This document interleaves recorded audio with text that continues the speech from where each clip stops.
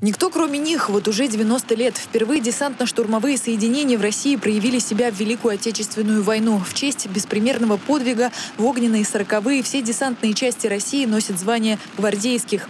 Самоотверженность и стойкость голубые береты показали в Афганистане, на Северном Кавказе, в Югославии и других горячих точках. На учениях проявляйте мастерство, чтобы наши иностранные друзья даже в мыслях не держали чтобы как-то косо посмотреть в сторону Российской Федерации. Пусть не с таким размахом, с каким планировали, но 2 августа воздушно-десантные войска отметили 90-летний юбилей. Высокий профессионализм, безупречность, боевое мастерство, смелость, решительность – главные качества десантников. Крылатые войска всегда на страже мира и готовы защищать Родину. ВДВ по достоинству можно назвать гордостью России.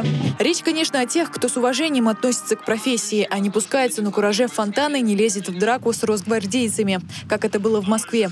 В отличие от столичных, ульяновские десантники с достоинством провели праздник. Возложение цветов, выступление оркестра, награждение военнослужащих 31-й гвардейской десантно-штурмовой бригады. Конечно, а, маленькая маленький осадок у нас на сердце остается, потому что ребята не попали э, в свою вотчину, скажем так. Но, тем не менее, у нас есть парк Маргелова, где ветераны соберутся, никто им не запретит.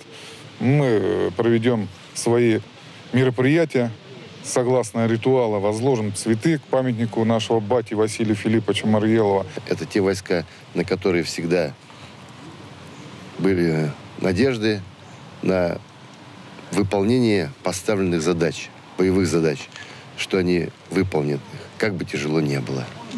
Поэтому этот итог 90 лет воздушно-десантных войск подводит именно финальную такую черточку, потому что войска и дальше будут развиваться.